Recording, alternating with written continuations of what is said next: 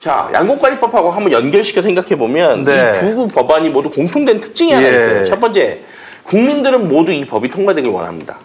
여론조사 지지율을 보면 찬성이 두 법안이 다 높아요. 음. 왜냐하면 국민들이 판단하기에는 물론 그러실 거예요. 국민들이 뭘 알아? 또 뭐 여당이나 또 이런 데서는 보니까 자꾸 그런 말을 이제 서슴없이 하더라고요. 예. 뭐 국민들이 몰라서 그런다는 식으로 뭐 이렇게 자꾸 얘기를 하시는데 국민들이 왜 몰라요? 국민들이 아시는 종합적 판단을 내린 거예요.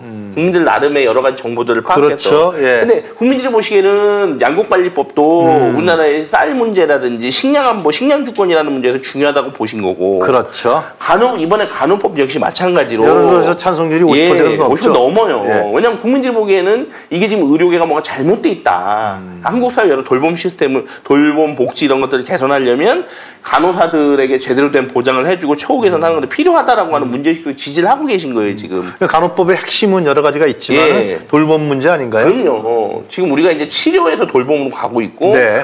더 아직 냉정히 말씀드리면 의사들만 의사들은 치료를 담당하지만 돌봄을 음. 담당하지 않아요. 그리고 아시지만 의사들 숫자가 좀 적어요. 네. 늘리자 그러면 저항하잖아요. 네, 어. 그러니까 사실상 이 역할을 현실적으로 할 수 있는 게 간호사들이에요. 더, 더 세게 말씀드리면 어. 계속 뉴스에 나오지 않습니까? 네. 수술 때 지금 어. 간호사들이 들어가서 수술을 의사들이 시켜서 간호사들이 수술하고 있는 음. 게 현실인데 이런 것들은 다 눈 감고 무조건 자기네들 증원은 안 된다 그러고 네. 간호사가 그 이상의 역할을 하는 건 안 된다라고 얘기를 하는데 네.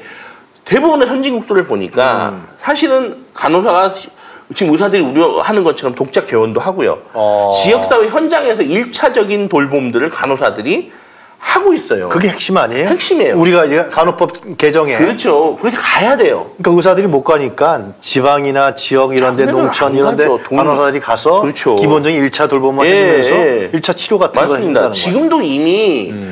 현장에는 여러 가지 정책 사업을 통해서 간호사들이 들어가 있는데 이런 법 체계가 제대로 정비가 안 돼 있다 보니까 간호사들이 가서 제대로 검사하는 기본적인 검사하는 것도 조심스럽은 거예요. 음, 그렇지. 이게 왜냐면 법에 걸리어서 걸리니까. 자격이 박탈될까 봐. 어. 그러니까 이게 결국 말씀드리면 이거는 자꾸 뭐 간호조무사도 끌어들이고 뭐 끌어들이고 음. 있지만 사실 냉정히 말씀드리면 의사들이 자신들의 권력을 음. 이 지위를 지키려고 하는. 그러니까 우리가 저도 사실은 이거 준비하면서 그 생각했어. 아, 내 머릿속에도 음.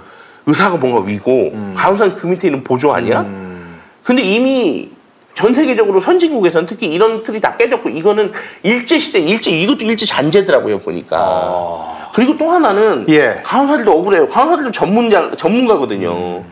거기도 충분한 시간에 훈련과 교육을 음. 그럼, 받고 어. 자격증을 획득해서 간호사를 그렇지. 하고 있는 어. 건데 마치 무조건 의사의 무조건 써- 보조로만 음. 이렇게 배치하는 그리고 아니 이걸 만약에 의사들이 공적인 역할을 제대로 해. 음. 네. 아, 의사가 너무 적네요. 음. 많이 뽑겠습니다. 아우 지방에 이렇게 의사들이 별로 없네요. 우리가 어떻게든지 돌아가면서라도 뭐 근무를 하겠습니다. 뭐 이러면서 지방에 지금 가보면 농촌 지역 분단이 이제 지방 소멸을 하는 이 지역들 가보면 소아과 못 가서 막 사람이 애들이 막 아파서 죽고 산부인과 못 가서 겁내고 막 이런 일이 비일비재하거든요. 그러니까 이런 문제들을 해결 못 하고 있잖아요.